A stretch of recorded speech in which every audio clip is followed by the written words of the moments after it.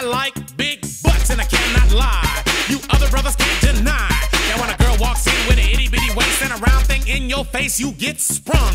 Wanna pull up tough, cause you notice that butt was stuffed deep in the jeans she's wearing.